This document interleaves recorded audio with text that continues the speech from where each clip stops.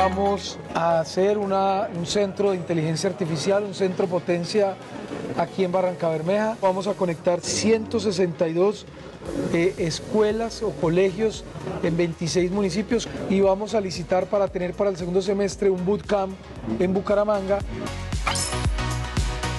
Una de las bases de la inteligencia artificial es el mismo concepto de sinapsis. Sinapsis es la cantidad de conexiones que tiene el cerebro humano entre las neuronas.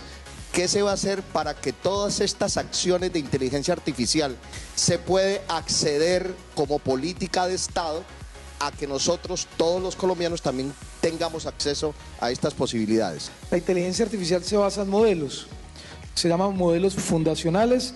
Eso significa que con esos microcentros la gente va a poder bajar esos modelos y los va a poder usar, alcaldes, pequeñas compañías, democratización.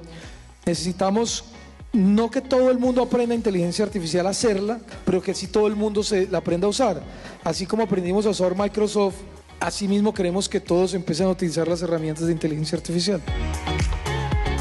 El ministerio hace grandes esfuerzos y desde las regiones queremos mostrar contenidos educativos. Hoy Colombia es una gran exportadora del talento audiovisual. Tenemos productores, actores, guionistas eh, y toda la industria es realmente muy competitiva a nivel internacional. Contra la Corriente es una serie eh, que sirve un poco a, a, título de homenaje a Lucho Arango, que fue un líder social. Que buscaba cuidar la ciénaga El Llanito, una de las ciénagas más importantes. Es una historia muy bonita, eh, verídica.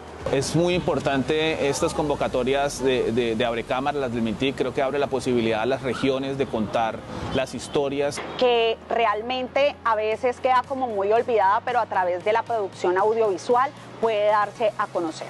Y tienen cosas muy bonitas, así que no se la pierdan. Colombia, potencia de la vida.